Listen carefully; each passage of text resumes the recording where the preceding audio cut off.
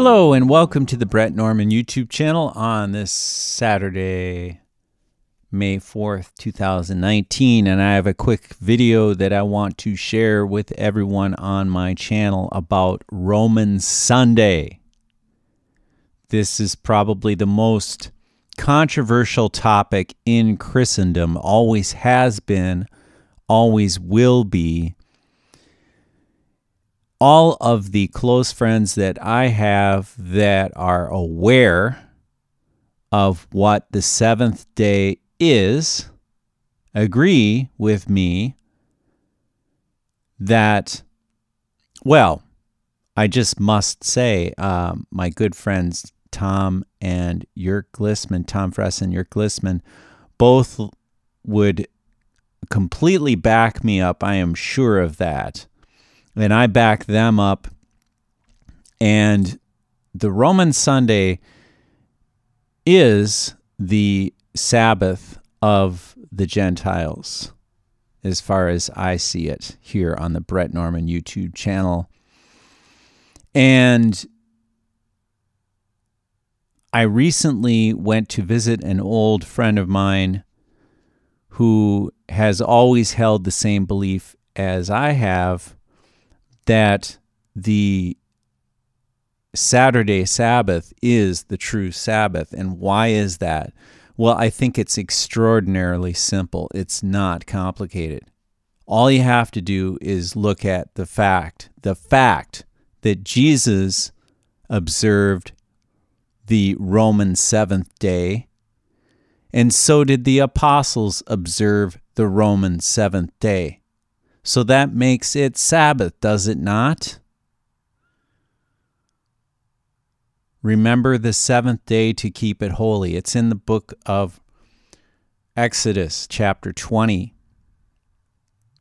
It's simple, it's not complicated, but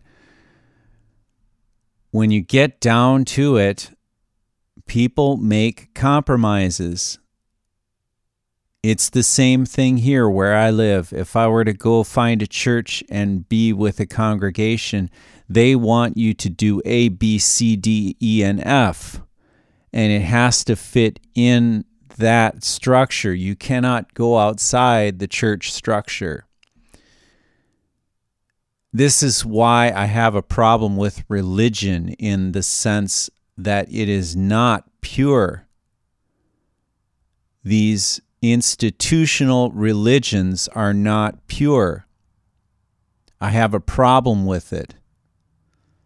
Yes, it's a personal problem, but I'm sharing it with you on YouTube because this is going to be a catastrophic problem. Um, you know, I've already had friends that have had huge, huge breakups in friendships because of it, but, you know, so be it. This is how the world works. Um, Satan knows he has but a short time. So he torments those that are uh, true followers of Christ, and we're going to have to just suffer with it. All right. And that's what this YouTube, YouTube channel is all about.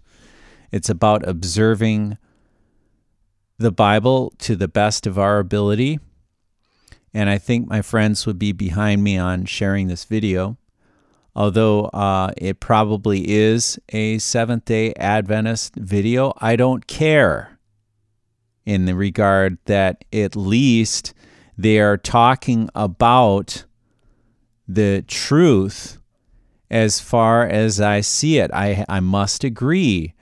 Uh, you have many different um, political and religious structures that are working together today to impose strict laws on the citizens of this earth through the different nations. And what does the Bible say? The Bible just simply says the nations are drunk.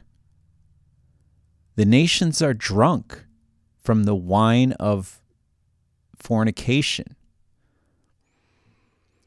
It's simple, it's not complicated. Jesus observed seventh day, Saturday, Sabbath along with all the apostles in the book of Acts. You can read it and study it yourself. We, we went through it. There's at least a few references in the book of Acts to the Sabbath. And we're going through that on my channel. Uh, I've got those videos coming up and going up. And also, we're also uh, studying uh, the divine program of the world's history as well. And we're trying to do our level best with um, finding the unprejudiced truth about what religion really is outside of the institution, outside of the lucre that's involved I don't ask for donations. I'm not interested in asking for donations. It's not about money, it's about the truth. You cannot buy a close personal relationship with Christ. You have to make time for it. You have to do it on your own, in private, the way Jesus taught us to by studying His Word, by studying His practices and memorizing Scripture and sharing it with everyone that you can. All right, because the Bible tells us what pure religion is. And it has nothing to do with making money. And it has everything to do with submitting to Christ, our Savior and to bring the gospel to the people. And to me, the gospel is the entire Bible from Genesis 1 1 to Revelation, the very end. I think it's chapter 20, if I'm not mistaken. But uh, yeah, um, we are uh, getting dangerously close, I think. Uh, chapter 22, excuse me. Chapter 22, verse 21. The grace of our Lord Jesus Christ be with you all. Amen. That's the very last words of the Bible. So, yeah, we are going through uh, some very interesting days. Uh, I'm not sure what's going to happen here, but I encourage you to check out this video. I'm going to put it up right now at the end of this audio. And um, I got a bunch of Code Word Babylon videos coming very, very soon. Been working really hard on those. Um, I don't rush things on my channel. I just try and provide uh, thought provoking interesting material that makes you really question your faith along with others. And this is what it's all about. This is what the gospel's all about. And I just want to see that grow. I don't want to see it diminish. And it's the whole purpose. I have reached out to Jörg Listman and have uh, been doing some, some, um, what would you say, um, oh, what's the word when you work with someone else? Ah, I forget this name now. Ah, anyway, I'm getting a little fried. It's been a long week, been a long month, long year. This year already, we're not even really into this year, other than, yeah, I mean, yeah, everything is so much stranger once you've studied history and studied uh, all of the controversial topics that we cover on the Bret Norman YouTube channel. I'm not saying that I'm uh, any better or anything than anyone else. It's just that, you know, uh, knowledge is very important in this day and age because there's a lot of people out there to deceive you. And what did Jesus warn us not to be deceived? Let no man deceive you. And that's the motto I try and keep on this channel. I try and show the controversy. I try and talk about the tough topics. Um, I try and uh, encourage others to do the same thing and to come up with their own materials as well. And uh, I just um, hoping and praying for the increase in knowledge and the increase in understanding because to me that's all that I do this for nothing else you know trying to keep myself uh, open and committed to bringing more quality work to YouTube and to my subscribers so with that being said we will continue in the spirit of James Aitken Wylie studying his books. Uh, right now, we are currently working with Albert Close still. Uh, we did the 20 plus some session, uh, late 20th session of uh, the Divine Program of the World's History today. And we're doing another session tomorrow. And um, We'll try and keep everyone informed and up to date. Um, and code word Babylon videos are going to start coming out really fast now. Um, got a lot of of uh, really good material now, and uh, much more confident. It's just, a matter of getting the time together to put them all together. So, God bless everybody. We'll be talking with you soon. Enjoy the video. The 45th United States President is said to be anti-establishment which in a sense is true, because he is against the current established global authority. However, that does not mean one established authority cannot be replaced with another. Political commentators have expressed concern that the Trump presidency turn into a right-wing evangelical neoliberal fascist regime Father, we thank you in the name of Jesus that you raise up a man for such a time as this. God, we ask you right now that your choice is this choice. We believe, Lord God, that you ordain things. You said all authority is of you. Now, God, I ask that you would touch this man, Donald J. Trump. Give him the anointing to lead this nation. The pendulum has swung from left to right, Democrats to Republicans, atheists to conservative Christians, pro-abortionists to pro-life, for gay marriage and against. Though Trump has distanced himself from gay marriage, stating he will let the states decide, the Democratic Party or the left under the Obama administration was a Jesuit-controlled operation from start to finish. Trump and Obama are polar opposites. Obama was less conciliatory to the Zionist movement than his successor, as Trump is an advocate of Israel's plan to continue building West Bank settlements. He is a supporter of the Zionist movement in the strictest sense, meaning the development and protection of a Jewish state like so many other Christians. Although the Bible clearly says that Israel as a theocracy is finished and not under the protection of God, Behold, your house is left unto you desolate. Matthew 23:38. It is fascinating that some Christians hold the state of Israel in adoration, even though the Jews crucified Jesus. And signal his desire to shift U.S. Israel relations. During the election, he said he would move the U.S. Embassy to Jerusalem. Obama has ridiculed Trump publicly. And I know just the guy to do it. Donald Trump is here tonight.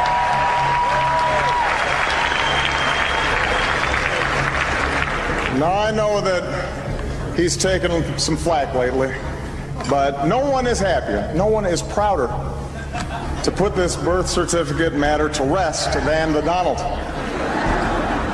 And that's because he can finally get back to focusing on the issues that matter. Like, did we fake the moon landing? What really happened in Roswell? And where are Biggie and Tupac?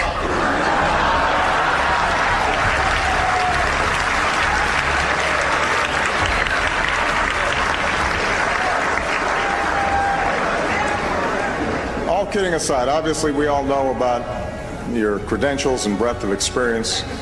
Um,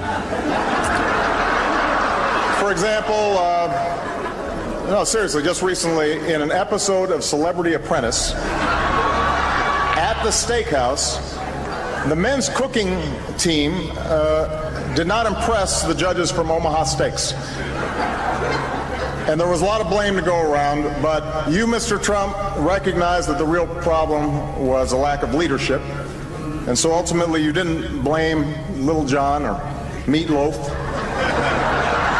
You fired Gary Busey. And these are the kind of decisions that would keep me up at night. It'd be safe to say that Trump will trash Obama's legacy of imposing a Jesuit socialist agenda such as Obamacare, as well as Obama's legacy of enabling terrorists such as ISIS to further their goals. The first order of business is to repeal and replace Obamacare. And that was our message today, and it'll be our message on Capitol Hill. And it needs to be done, uh, not just as a promise kept, uh, but because in the course of this election, uh, the American people had a choice. And uh, what appeared to many as against all odds, oftentimes with overwhelming opposition, our president elect took his case to the American people to repeal and replace Obamacare, and the American people voted decisively for a better future for health care in this country. The Obama administration was left red faced when Russia started bombing ISIS oil targets that bankrolled terrorism. Obama was groomed to fulfill the presidential role to further the New World agenda, not only by the establishment, but also by the Roman Catholic Jesuit order, which is liberal and left wing in nature. However, the Jesuit order is chameleon like, playing all sides, including right wing politics, as seen in World War II. Himmler modelled the SS on the Jesuit order, as his uncle was a Jesuit priest. The Vatican is a patron of the Democratic Party even though it is mostly atheistic and liberal. Vatican Council II planned to overthrow Protestantism, and nothing does more of a sure work than liberalism, atheism, and licentiousness. Republicanism and Protestantism is the secret of the United States' prosperity. Those nations that worship idols don't do so well. These include, of course, the Roman Catholic nations, which are third world and don't succeed like Protestant nations. Although Trump did partially have a Jesuit education, he has been for the most part shunned by the Vatican United States geopolitical elite. Pope Francis' New World Order agenda was secretly pushed by the Obama administration, which was saturated by Jesuit trained staff. The plan was to implement incremental changes, including the passage of Roman Catholic Mexicans into the United States to increase the Pope's political power. This would pave the way for an increased opportunity for a legislated Sunday law, which is a direct violation of the First Amendment of the Constitution. The Pope more or less told Catholics to vote for Hillary Clinton after the Mexican Wall dispute. Person who thinks only about building walls, wherever they may be located, and not building bridges is not a Christian. This is not in the gospel. As far as what you said about whether I would advise to vote or not vote, I am not going to get involved in that. I say only that this man is not a Christian if he has said things like that. And I'm a very good Christian because the Pope said something to the effect that maybe Donald Trump isn't Christian, okay? And he's questioning my faith. I was very surprised to see it, but I am a Christian. I'm proud of it. Okay. For a religious leader to question a person's faith is disgraceful. I'm proud to be a Christian. And as president, I will not allow Christianity to be consistently attacked and weakened, unlike what is happening. Pope Francis has his tail between his legs, asking for dialogue with the new administration. Trump has given some speeches that reach out to Roman Catholics, but he would be foolish to align himself with the Pope since the curses far outweigh the blessings. Catholics are an important part of the American story. America has been strengthened by hardworking Catholics. From New York to California, the Catholic story is truly unique, and it's a great story. From marching for civil rights to educating millions of children, serving the poor, and helping define the pro life movement, clergy and lay Catholics across the country have made countless contributions to the American success and the American success story. Washington politicians have been hostile to the church they have been hostile to Catholics. They have been hostile to the members of Catholicism. My administration will stand side by side with the American Catholics to promote the values we all share as Christians and Americans. God bless you. God bless the United States of America. We will make America great again. You mentioned recently that you're a Christian, that you go to church. How, how important is your faith to Donald Trump? Very important. I'm a Protestant. I'm a Presbyterian. Uh, very important. I'm a believer. I'm also, you know, busy and probably busier than I should be. But uh, I am a Christian. I'm Protestant. I'm Presbyterian. Uh, pro-life? I'm pro-life. Gay marriage? Where do you stand? Uh, I'm against gay marriage. Mm-hmm. And, you know, not easy to do in New York, but I'm against. And I, I have changed views on different things over the years. Like? Well, like pro-life. I was sort of, I was always torn by it. I was always torn by it. Um, I'm very much, as an, uh, to take the other extreme, very much, very much in favor of the death penalty, especially for terrorists and especially for people that, you know, killers that you see so many with the girls that are being killed and then they, they capture these guys. I am so for the death penalty. On the other side of the Atlantic, the modus operandi was to flood the European Union with Muslim refugees which would allow the geopolitical elite to divide and conquer, further neutralizing any national identity, preparing the world to be carved up into ten regions as proposed by the Club of Rome. The actual agenda of the New World Order establishment was to remove secular leaders from Iraq, Libya and Syria, so that Sharia law can rule over the population under an administration subservient to the US Vatican alliance that the wishes of the Pope to enact a global Sunday law will be dutifully fulfilled. Perhaps this is why Hillary Clinton received donations from regimes who wish to implement Sharia law such as Saudi Arabia, who also host the Organization of Islamic Cooperation. The agenda of OIC is to enact Sharia law that would also fulfill the role of evicting Christians in the Middle East and checking the spread of Christianity, which suits the Vatican. You may find this contradictory, but the Vatican is not necessarily trying to bring people to Jesus, but to bring honour and worship to itself. This would be achieved through a national Sunday law, which is actually pagan sun worship, not the worship of God, but more on that subject later. Behind the scenes, many Islamic leaders have compromised with the New World Order agenda and the 10 region plan to secure their seats of power in such as the oppressive monarchies of Saudi, Bahrain, etc. The US Vatican alliance is not looking for partners, but client states. Greetings, I'm Governor Mike Pence. You know, it's my honor this year to serve as the Republican nominee for Vice President of the United States with my running mate, Donald Trump. I'm grateful to be able to join you, if only by videotape, but I'm not sure how they introduce me. The introduction I prefer is pretty short. I'm a Christian, a conservative, and a Republican in that order. President Donald Trump will appoint justices to the Supreme Court who will uphold our Constitution and the rights of the unborn. Donald Trump will also sign into law legislation that will free up the voices of faith all across this country by repealing what's come to be known as the Johnson Amendment. The Johnson Amendment's literally been on the books since the 1950s, and it essentially threatens tax exempt organizations and churches with losing their tax status if they speak out on important issues facing the nation from the pulpit. Donald Trump and I are both committed to work with re- renewed Republican majorities in the House and the Senate to repeal the Johnson Amendment once and for all. Vice President Mike Pence is a perfect example of an individual promoting the image of the beast. In his childhood and early adulthood, Pence was a Roman Catholic. While in college, he became an evangelical, born again Christian. His political views also started shifting from left to right during this time in his life, and we see the mixture of Roman Catholicism and apostate Protestantism, as Pence still holds his Roman Catholic roots in high regard and receives communion. Those who are interested in the prophetic role of the United States in the Bible should study Revelation 13, which describes two powers working together in the last days. These two powers, or beasts, in Revelation 13 are two kingdoms, a beast is symbolic of a kingdom or political power, as confirmed in Daniel 7.23. Thus he said, The fourth beast shall be the fourth kingdom upon earth.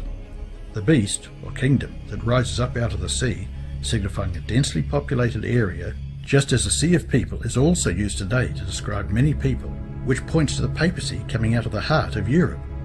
The second beast comes out of the earth, meaning a sparsely populated area, pointing to the United States of America. Revelation 13, verses 11 to 12. Then I saw a second beast coming up out of the earth. It had two horns like a lamb, but it spoke like a dragon. It exercised all the authority of the first beast on his behalf, and made the earth and its inhabitants worship the first beast, whose fatal wound had been healed. These two Bible verses predict that the United States of America will make an image of the beast, forcing the people of the world to worship or reverence the day that was created by the Roman Catholic Church. Sunday cannot be found anywhere in the Bible and is the pagan sun worship day. Practically everything Protestants regard as essential or important they received from the Catholic Church. The Protestant mind does not seem to realize that in accepting the Bible and observing the Sunday and keeping Christmas and Easter, they are accepting the authority for the spokesman of the Church, the Pope. Our Sunday visitor, February the 5th, 1950. He exerciseth all the power of the first beast before him, and causeth the earth and them that dwell therein to worship the first beast, whose deadly wound was healed. Revelation 13 12. That's because Sunday is a day of worship. You're supposed to be in a Christian church. But wait a second, aren't we supposed to have religion, religious freedom in America? Some religions worship on different days. Because blue laws, which date back to colonial times, still ban that in a dozen states. Originally, they outlawed regular Sunday work. No buying, no selling, traveling, public entertainment, or sports even people, it's baked in, have always had this temptation to let work crowd out all the other things that matter family, faith.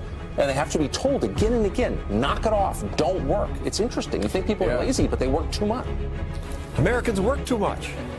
Maybe, but they should certainly be able to choose their own days off. The idea that somehow a bunch of guys in a state capital somewhere know what's best for us in terms of, you know, how many days off we take and when we take them. In order for the United States to form an image of the beast, religious power must so control the civil government that the authority of the state will also be employed by the church to accomplish her own ends. The image to the beast represents that form of apostate Protestantism which will be developed when the Protestant churches shall seek the aid of the civil power for the enforcement of their dogmas.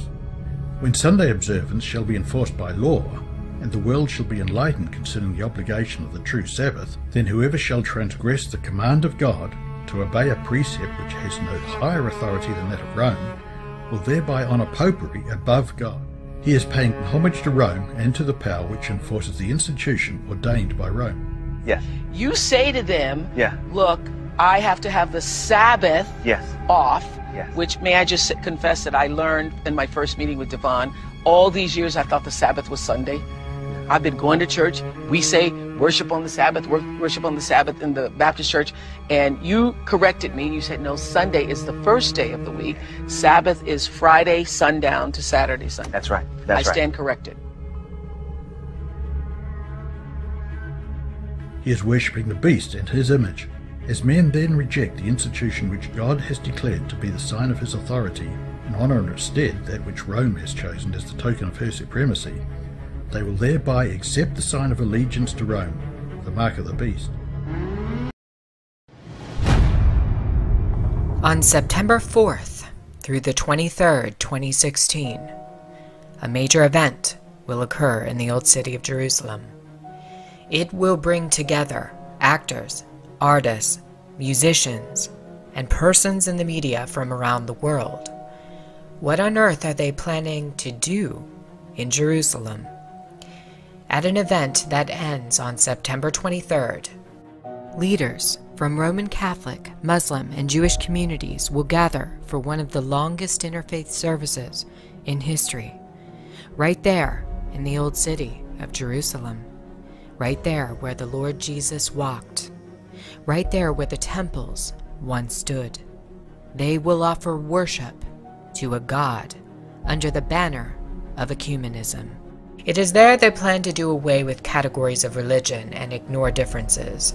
The service will combine three monotheistic faiths under one roof in a house of worship for all believers. One part of the event will occur from September 5th through the 11th and will bring together Jew, Muslim, and Christian under, quote, a passion for Jerusalem, in which they can all coexist temporarily under the wings of the Almighty, unquote. Some of the headlines on the website for this event talk about dissolving boundaries and coming together in worship of the same God. Another part of the event will occur from September 12th through the 23rd. The leaders of this event, which is called Mekudeshet, will perform an 11 day consecration. If you aren't aware, a consecration happens when somebody performs a ceremony declaring something as holy.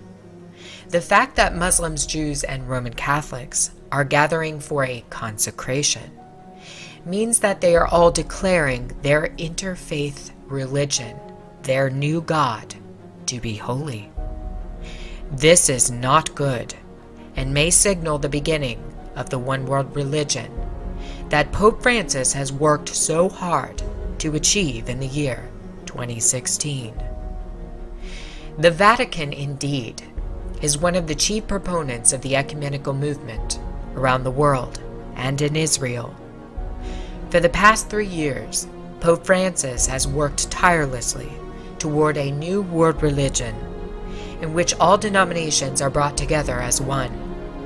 If you look at Francis's outreach over the past three years and specifically in 2016, you'll find somebody who has openly condemned evangelical Christianity and the belief that you must have a personal relationship with Jesus.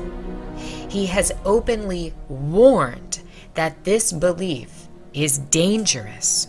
He has also equated the spread of the gospel under evangelical Christianity to jihadism. In the meantime, he has done quite a bit of outreach to every other religion in the entire world. Why is this happening? The extent of Francis's outreach to other denominations in 2016 alone has been mind boggling. In February, Francis held an emergency meeting with Patriarch Kirill of Russia for the first time since the 1054 Schism. Kirill then went directly to Antarctica, where he performed a bizarre religious ceremony consecrating the land and water surrounding the continent. Francis has also done outreach to Patriarch Bartholomew of Turkey, in which both leaders voiced support for the migrant crisis and called for more migrants to enter Europe. In May, Francis met with Al Azhar of Egypt, who is the head of Sunni Islam. In January, Francis became the third pontiff ever to visit Rome's major synagogue. He has also hosted Jewish religious and political leaders at the Vatican. In June, Francis outreach to the Armenians. In July, Pope Francis visited Poland and told all of the young people in the audience to, quote, believe in a new humanity. In August, Pope Francis won a huge initiative with U.S. Lutherans a document called the Declaration of the Way was passed by a majority of 931 to 9. It recognizes that there is no longer church dividing issues between Lutherans and Roman Catholics. This means that 3.7 million U.S. Lutherans are now absorbed into the New World religion.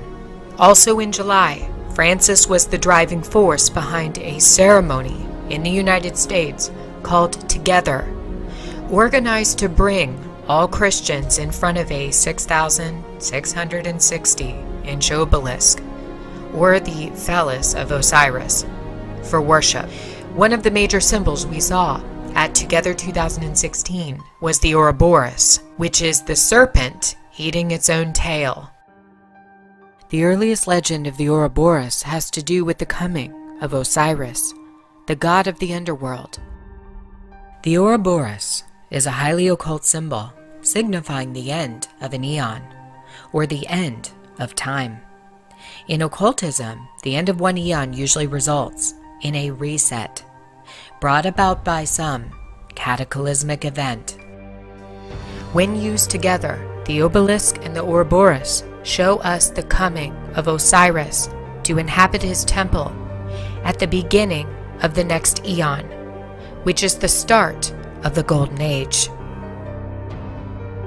The fact that this symbol was put on display throughout Francis's Together 2016 event is very demonic.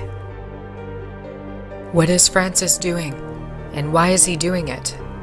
The answer is that he's merely carrying out a role, playing his part in the creation of a new world religion.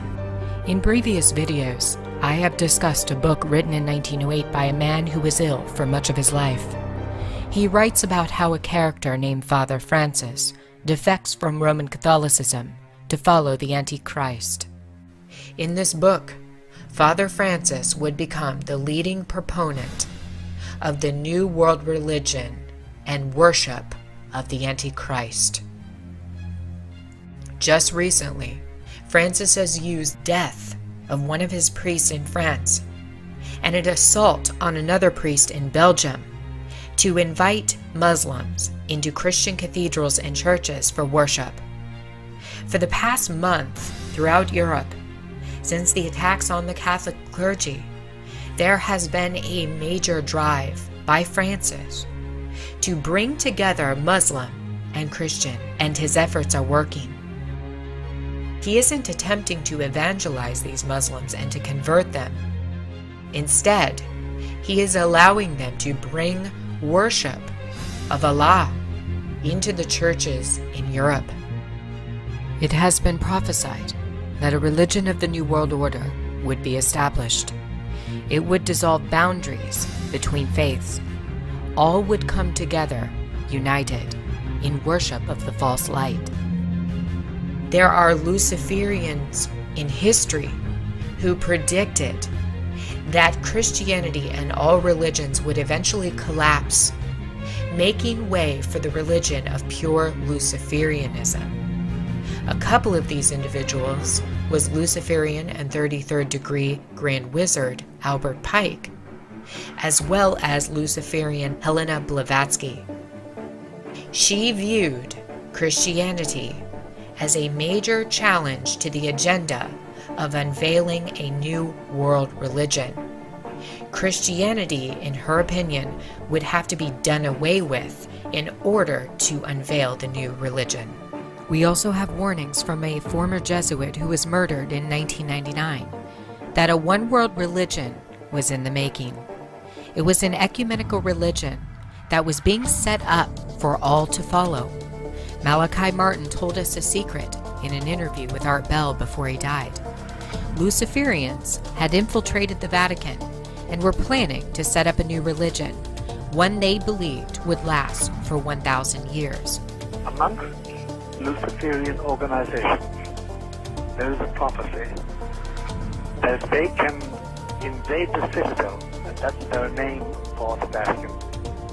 They will have power for a thousand years. How close are they? Very close. Okay, I got to interrupt this video for a second to inform my viewers on my channel that Malachi Martin, in my studies with Jörg Glissman, I think he might agree with me that uh, Malachi Martin is not someone I would put my trust in. So uh, take this with a very, very small grain of salt. Um, you know, hello, uh, we're dealing with the biblical Antichrist here. And he's always been the man of sin, the son of perdition, his office, the office of the Antichrist. So, nothing new about uh, Luciferians being in the Vatican. They've always been there, infiltrated. They've been in there since day one. So, I don't know what Malachi Martin's trying to do here other than confuse you. Uh, don't be confused with this statement, it's BS. You might remember when Francis came to America last September. We saw a major push toward the full ecumenical agenda. Francis's itinerary started on September 23, 2015, one day after he landed in the United States. He had set his sight on finalizing what his predecessor, Pope John XXIII, had set into motion on September 23, 1959. It was on this day John would offer a prayer that would begin the downfall of the Roman Catholic Church. A document would be penned declaring a new outreach to all religions in the world as children of the same God. Without a doubt, Vatican II is remembered as Catholicism's greatest push toward the New World Religion. Vatican II would change everything about the actions of all future popes. It was now about piecing together a new religion, one that would be ready, waiting for the coming of the capstone. Pope Francis is truly preparing that new faith right now for all in the world to become a part of. Going to Venezuela firsthand made me realize how much the media is lying to us about the reality on the ground. The U.S. government and its propaganda arms say it's a dictatorship where mass famine and civil unrest demands U.S. intervention.